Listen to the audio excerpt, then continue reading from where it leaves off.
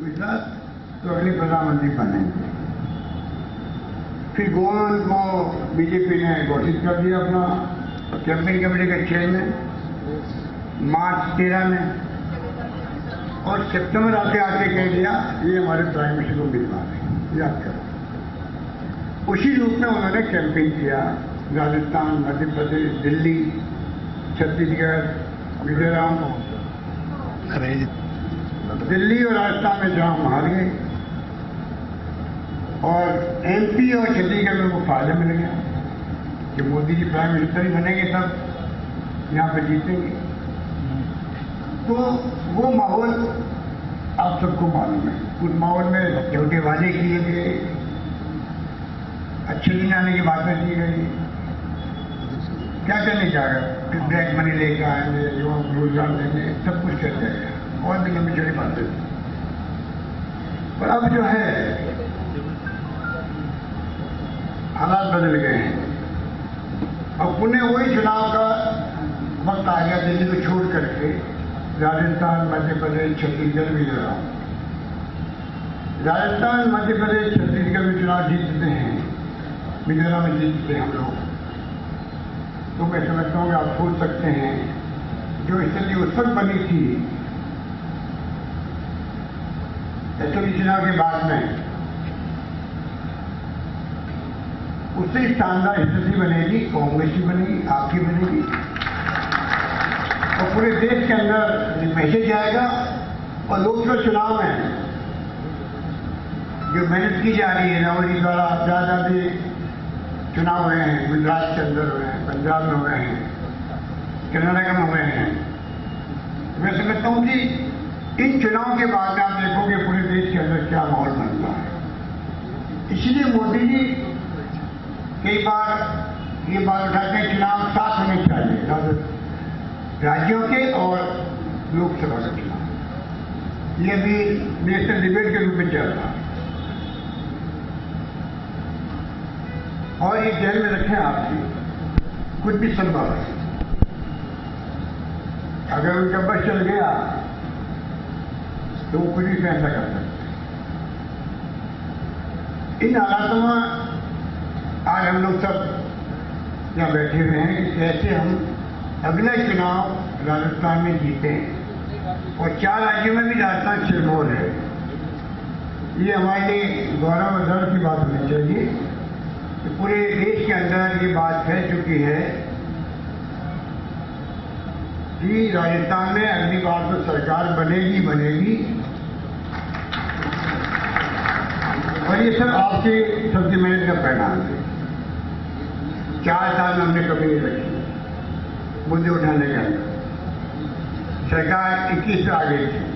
हमारी पार्टी चौबीस पे चली गई दूरी असेंबली के अंदर, पहले दिन है असेंबली के बाहर धरने दिए हों, प्रदर्शन किए हों।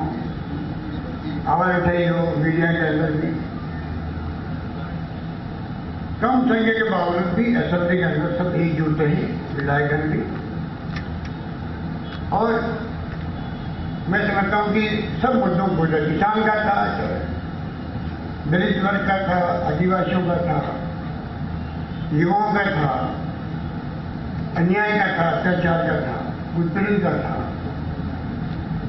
क्या नहीं हो रहा था राजस्थान में चार ये हवा ऐसी नहीं बनी है।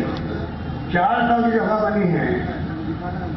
उसके पीछे आप सबकी मेहनत कई बार ये हमारे पत्रकार मित्र कहते हैं साहब कि, क्या भूमिका निभाई कांग्रेस ने? विपक्ष में रह करके मैं उनको कहता हूँ कि हमारा विश्वास वॉलेंस में नहीं है चिंता में नहीं है।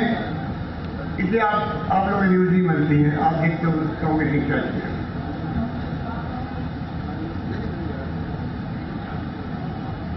तो मैं कहना चाहूँगा कि ये माहौल कैसे बना? एक तो कुशासन और एक तरफ़ हमने हर मुद्दे को सामने रखा जनता की भावना को लेकर।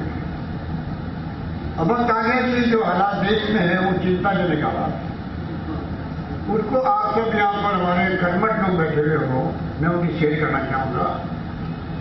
बहुत गंभीर हालात हैं देश में। ऐसा मैंने मेरी ज़िंदगी के अंदर, ऐसा माहौल मैंने कभी नहीं देखा हुआ राजनीति के। कि जहाँ हर वर्ग चिंतित हो, भयभीत हो संवेदन हिंसा की पराकाष्ठा हो, घृणा हो, नफरत हो, हिंसा हो अंदर के अंदर में क्या होगा कितनी घटनाएँ हो चुकी है राजस्थान के अंदर? पहलू खां की हुई मध्य प्रदेश में रोज की घटना।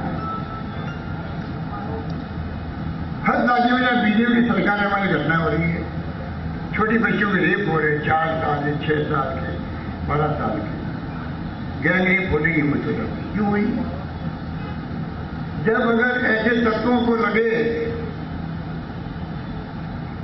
कि ऐसे माहौल बना है कि उस पर हमारा कोई बिगाड़ नहीं सकता, हम बच जाएँगे, तब जाके हिम्मत बढ़ती है, हौसले बढ़ते हैं टीचिंग करने के।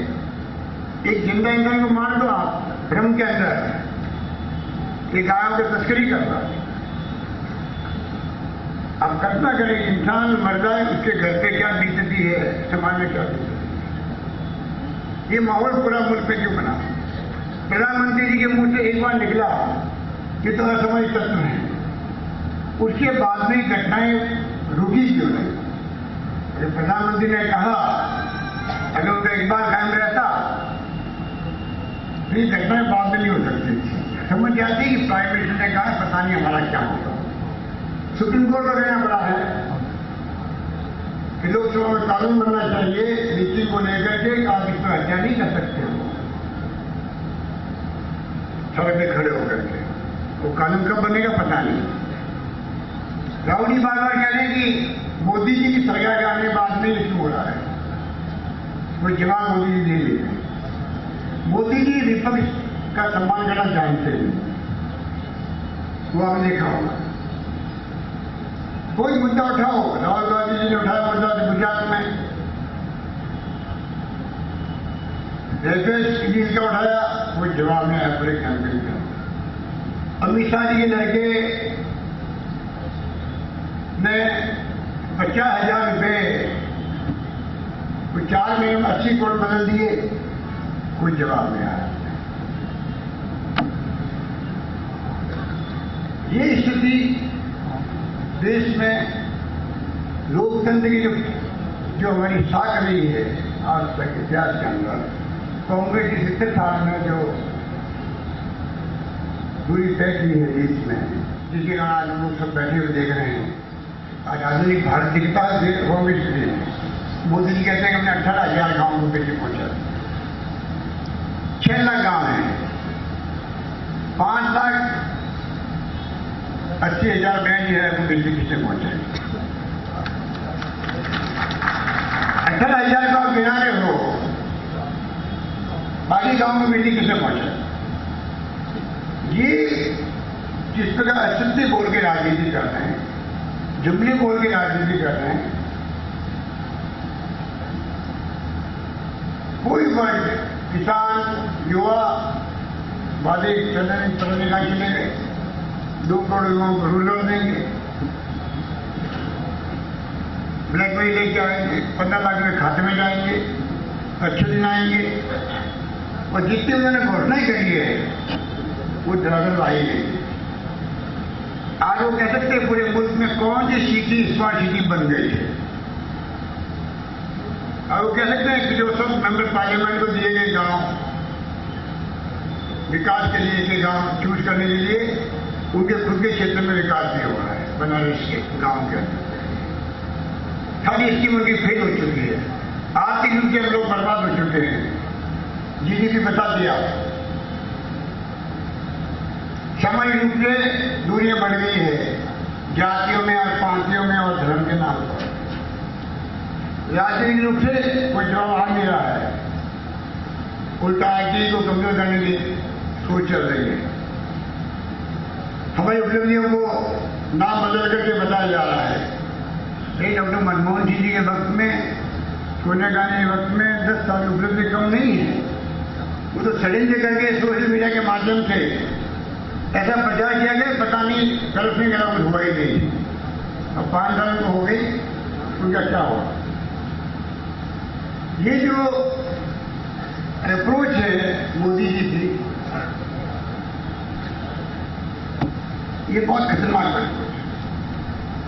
विपक्ष को और वही कांग्रेस जो राष्ट्रीय पार्टी है उनके नेताओं के प्रश्नों के जवाब नहीं दो। हर दर्जे में तो रखो आप यदि परवाह नहीं कर रहे हैं तो समय आने में जनता जवाब ही देगी। ये मौका